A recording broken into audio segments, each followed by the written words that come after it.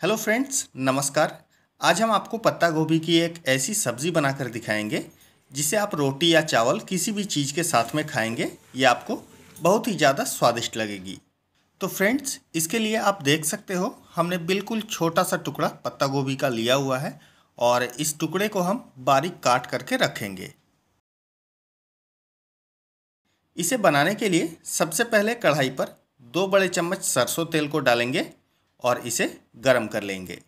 तेल के गरम होने पर दो पीस पतले कटे हुए प्याज डालकर प्याज को मीडियम आँच में पाँच से सात मिनट हल्का गोल्डन कलर आने तक अच्छी तरह से चम्मच से चलाते हुए इसे पकाएँगे।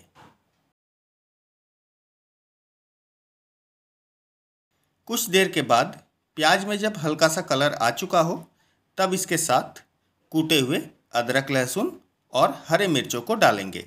यहाँ पर हमने आधा इंच अदरक, एक गांठ लहसुन और चार हरे मिर्चों को कूट लिया है और अब इसे प्याज के साथ थोड़ी देर के लिए मीडियम आँच पर पका लेंगे। अदरक, लहसुन और प्याज को पकाकर इसके साथ में हम डाल रहे हैं आधा छोटा चम्मच जीरा पाउडर, आधा चम्मच धनिया पाउडर लेंगे, आधा चम्मच कश्मीरी लाल मिर्च का पाउडर, आधा चम्मच हल्दी, एक छोटा चम्मच या अपने स्वाद अनुसार नमक। अब इसके साथ एक पीस कटे हुए टमाटर को डालेंगे और मसालों को पाँच से सात मिनट तक मीडियम आँच पर पकाएँगे। कुछ देर में मसाले बिल्कुल अच्छे से पक चुके हैं। अब इसके साथ एक गिलास पानी ऐड करके अच्छी तरह से मिक्स करेंगे।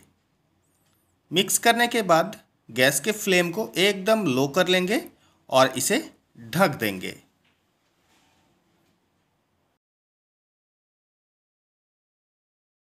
अब जो कटे हुए पत्ता गोभी रखे हैं, इसके ऊपर से डालेंगे थोड़ी सी हल्दी थोड़ा सा नमक।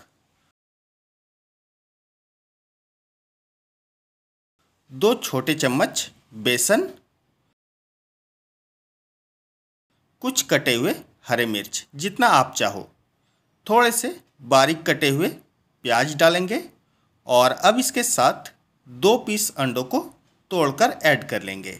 आप चाहें तो इसमें तीन या चार अंडे भी ले सकते हैं, लेकिन फिर भारी होने की वजह से आपको ये पलटने में दिक्कत हो सकती है। तो फिर आप एक काम करें, अगर ज़्यादा बनाने हो तो दो या तीन छोटे छोटे ऑमलेट्स को बना करके तैयार कर लें। अब इसे मिक्स करने के बाद हम एक पैन पर तेल को गर्म करेंगे और इस तेल पर अंडे और पत्ता गोभी के मिक्सचर को डालकर इसे पकाएँगे। चम्मच से चारों तरफ़ फैलाते हुए थोड़ा सा एडजस्ट कर लेंगे ताकि एक ही जगह पर पत्ता गोभी जो है वो जमे हुए ना हो और फिर इसे लो टू मीडियम फ्लेम पर पका लेंगे।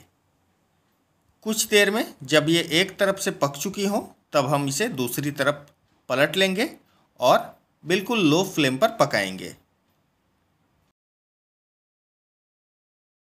कुछ देर के बाद अब आप देख सकते हैं, ये दोनों तरफ़ अच्छे से पककर तैयार हो चुकी है।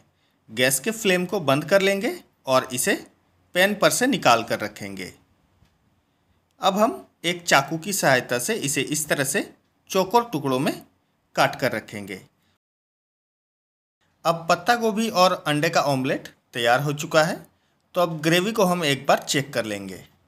देख सकते हैं, मसाले बिल्कुल अच्छी तरह से पक चुके हैं और ग्रेवी भी बिल्कुल तैयार हो चुकी है। इस पर बस अब कटे हुए ऑमलेट को डालकर हल्के हाथों से इसे थोड़ा सा मिक्स कर लेंगे। बस अब ये सब्ज़ी बनकर तैयार हो चुकी है। तो फ्रेंड्स, आज की ये वाली रेसिपी अगर आपको पसंद आती है तो इसे लाइक करें।